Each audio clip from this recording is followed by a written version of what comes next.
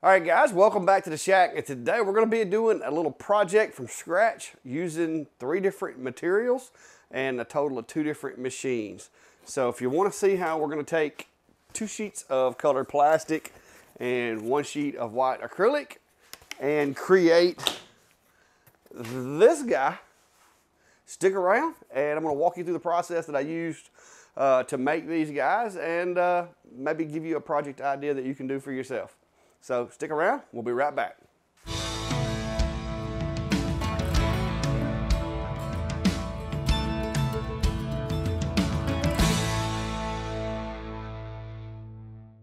All right, guys, so as many of you may already know, uh, my daughter is in the band, and being a band parent, you have to do certain things to help them out. And collecting parking is one of the things that I do at our home ball games. Well, the signs that the team had and the school had are getting a little dated, had some issues, didn't really look up to speed. So I volunteered to come up with something a little better and uh, basically took what they had, which was just a piece of uh, metal with stickers on it, and I've recreated it using the plastic and the acrylic. So I thought it turned out pretty good, and so today I was going to kind of walk you through the steps that it took and how I went about making this uh, using the Atomstack Hurricane and the Genmitsu 4040 Pro Max uh, to come out with this product. So let's get started guys. So for the back, I used some uh, extruded, uh, this is the name of it, Acrylite ex extruded uh, acrylic. It's white in color. Uh, I did cut this on the Hurricane. It cuts like butter. Uh, I'm really, I haven't ever done a lot with acrylic, but since getting the Hurricane, it's Lightburn compatible. It just flows pretty good for me. So I've been, I've been using it a lot. Been doing a lot more with acrylic. All right, so this is what I decided. I try to use materials that I had on hand so I didn't have to purchase a lot of stuff because this is a donor job. I'm not getting paid for this one.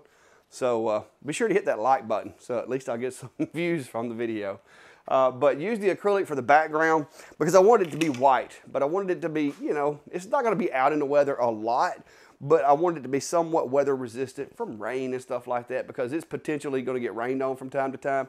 Uh, these signs stay put up inside the uh, building except when they're having ball games. So long-term exposure to the sunlight and stuff like that, not really a concern. So for the letters, the school colors are red, white, and blue. So of course I wanted the letters to be red and blue. And so I had uh, this stuff here to work with. But the problem I had, guys, is this isn't acrylic. I'm not real sure what this is. It feels remarkably like either PVC or ABS. So, as many of you may already know, PVC, ABS, not necessarily something you want to do a lot of cutting with in lasers and generating a lot of gases. PVC especially.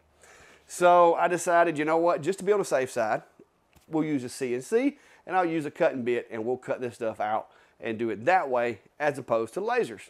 Keep it safe. Also, there's one little more benefit to using a CNC versus a laser that many of you may have not thought about. So I'm gonna point that out and show you here. So the thing with uh, using a CNC versus the laser is, as we all know, guys, our lasers are three axis at best. You know, you fourth axis if you if you want to include the rotary. Uh, we don't have fifth axis lasers. So in order to cut something out, it's going to be a 90 degree cut. No matter what it is, it's 90 degrees, unless you do some weird stuff with your material. But cutting out letters like this, the edges are always going to be square because the laser beam comes directly down, cuts through. But with a CNC, guys, you can actually generate beveled edges on your material when you cut it. And you do this by using a V-bit or a sharp pointed bit. In this situation, I used a 90, uh, 30 degree V-bit that comes with the Genmitsu uh, 4040 Pro Max. And because it's a 30 degree bit, I don't know how well you can see that, I end up with about a 15 degree angle on the front profile. So that gives it that cool, you know, cut out custom look in my opinion. So if you're cutting stuff out with your CNC, just remember, if you want a 45 degree angle beveled edge, you know, cut it with a uh, 90 degree bit. If you want it at 30 degrees, You don't cut it with a 60 degree V bit. And if you want a 15 degree, cut it with a, with a 30 degree bit because whatever the angle of that bit is, half of that is gonna be your little beveled edge. So you get this cool effect on the letters uh, when you put them on there. And also the way I'm doing it, it, it makes it match up with the lasered etched onto the background right there. So let's get into Lightburn guys and I'm gonna show you how I did the design and how I laid out the bulk of the, uh, the background for gluing of the letters. And then we'll move to the letters. All right guys, like many of you are probably aware, I prefer to do the majority of my designing in Lightburn. Not that it's any better, uh, it's just that's what I'm used to. So I'm going to bring in an image of the sign that they had just for reference. And like I said, I'm trying to duplicate it. I, I know it doesn't necessarily have to be, but hey, they like the way the old one looked. I figure they'll like the newer one. So I'm going to design this entire job in Lightburn. Uh, I will be exporting it over to VCarve for the CNC work, but you'll kind of see how I lay things out. Uh, this is just going to be the background shape, and I'm just wanting it as big as I can get it, uh, but not too terribly big. So I'm going to go ahead and just make that little uh, rectangle there, almost the size of the work area. I'm limited by my material as well, so getting that to fit on there. I'm going to go over here and round the edges. Uh, I think this is a uh, 10 millimeter uh, bevels for the edges, just to keep having those sharp corners. You know, it, to me, it just makes things look more finished and clean uh, when you round those edges like that. Uh, the next step is just going to be to lay the text out and select the font that I want and get it uh, as big as I need it to be. All right, for the sake of time, guys, I went ahead and cut some of the font selection and resizing out for you guys. Uh, I'm just going to center this thing up by selecting the, the, the back design first, the top one, uh, holding control together, and then just hit the little bullseye. We'll be changing that over to a line. Uh, what I'm doing here is I want to kind of just leave a little etch line in the material just to kind of give me a, a cheat for where my lettering is going to go. Uh, this I don't want it to burn all the way through. I literally want it to just be visible so that when I'm gluing these uh, numbers and letters and stuff on here, it makes that job a little easier. I don't have to worry about trying to get everything lined up. Uh, the white acrylic is going to be really hard to see these lines on, but you know, with proper lighting, it will make lining up this text a lot easier uh, in the long run. So I'm going to take that one, basically, I'm going to duplicate it, if you notice right here, and I'm going to run that to the other side and just rotate it around. Uh, that way I make sure that the font and everything is the same. You can create them individually, but I just wanted to make sure I had the same size font. And I'm just going to set these two guys on the sides uh, to make it look like the one that they already had. So. so at this point, guys, basically I just got a little bit of alignment, centering, just make sure everything's where it needs to be. Uh, and we're pretty much through with the design. Now, the secret to this is uh, once I get it done, I'm going to use this for the CNC.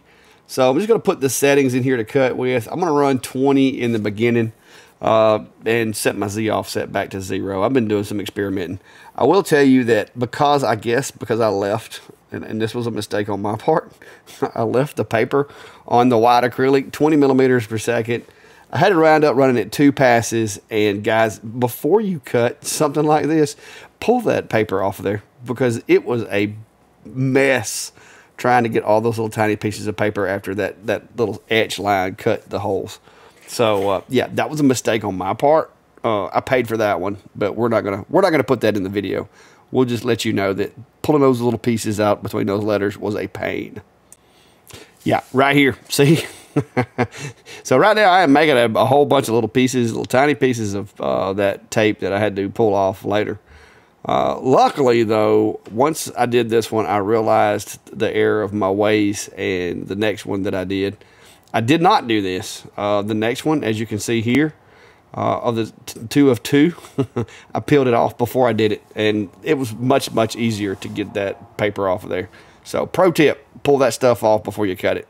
All right, once those are all cut, I'm gonna go over here. I'm creating a new folder, and I'm gonna export this file as an SVG so that I can bring it over into VCarve using the import uh, function. So that's where we're headed now, over to VCarve.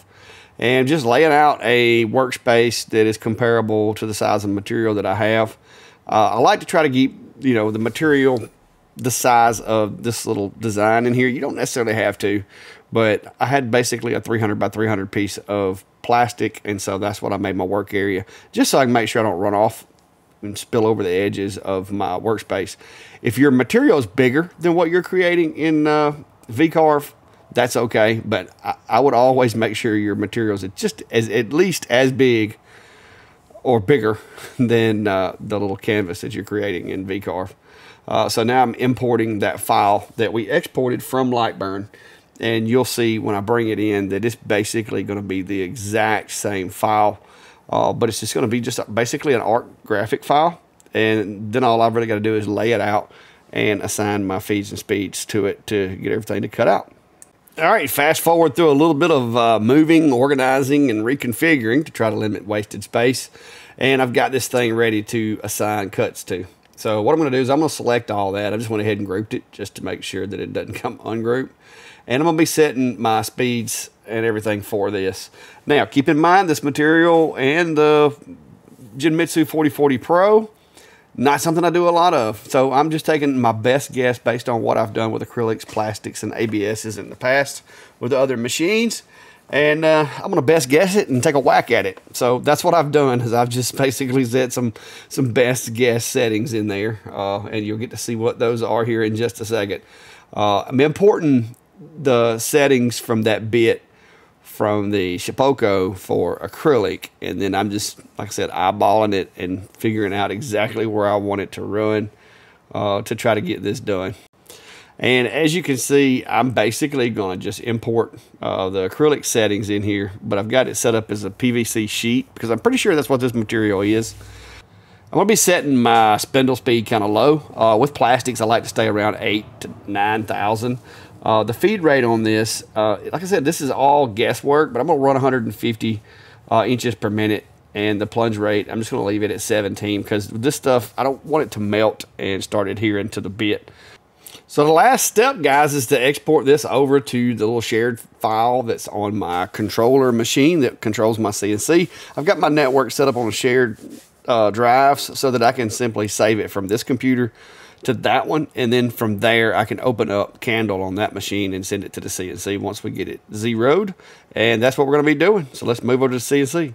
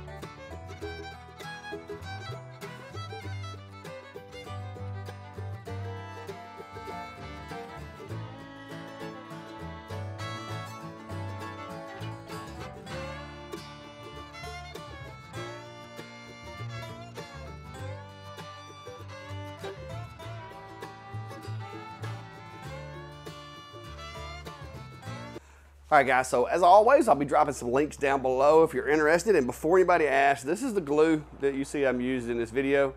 Uh, this is the medium uh, Starbond CA glue. I bought the three pack. It comes with the thin, medium, and thick. And the medium for this application seemed to give me the best job. Now, I wasn't trying to be too particular with it. Uh, as, as always, I didn't want to make a big mess, but this, you know, with this white background, these letters, you know, a little bit of getting carried away with the glue, not going to be that noticeable. Uh, one thing too is after I got all this glue together, I took some uh, spray paint, some clear coat spray paint, and spray painted the entire thing. Two, th two reasons I did that. One, I wanted to give it a uniform finish uh, across the entire sign, whether it be the acrylic or the letters.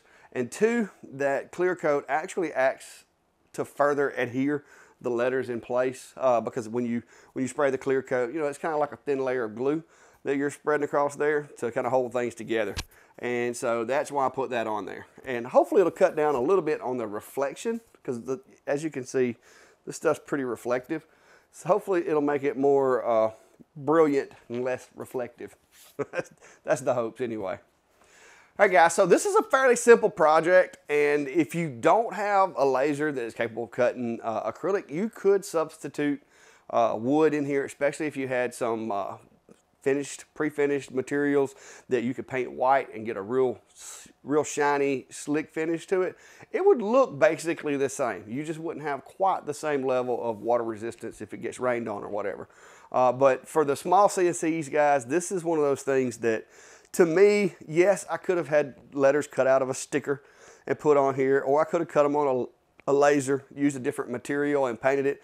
But sometimes the look of having those beveled edges and having those, those just, it just looks better with it being a raised level instead of stickers and having those beveled ed edges to me sometimes adds an extra layer of appeal to it versus the straight edges from the laser. And besides that, with this material, not knowing for sure what it was, there were some safety concerns with using the laser on it. And I really didn't want to be painting a whole bunch of little pieces of plywood. Uh, the plastic is going to be a lot more durable. It's a lot, you know, easier to handle and not break the letters when you're cleaning everything up, putting it together with the glue. So all in all, I just felt like the plastic was a better approach for this project from where I wanted to go with it. So, uh, and it turned out pretty nice. So thanks to uh, the Atomstack for being able to cut the white acrylic so easy, as well as the Genmitsu did an excellent job on cutting out the letters. And I think the band director and the band members will be really happy with the signs. So that's it for today, guys. Just a quick project for you, just showing you that just because you have the smaller machines doesn't mean you can't make some pretty interesting projects. So uh, I hope this inspires you to make something of your own. If it does, feel free to drop a comment below, go over to my Facebook page and uh, send me a message, show me the pictures, what you've done, or over to the Laser Engraver community page and drop some photos over there. Uh, and as always, guys, check us out Sunday nights, 7 p.m., me and Steve on the live show uh, go hit that bell and get that reminder for the show. And uh, we'll see you on Sundays. But until next time, be safe and have a good day.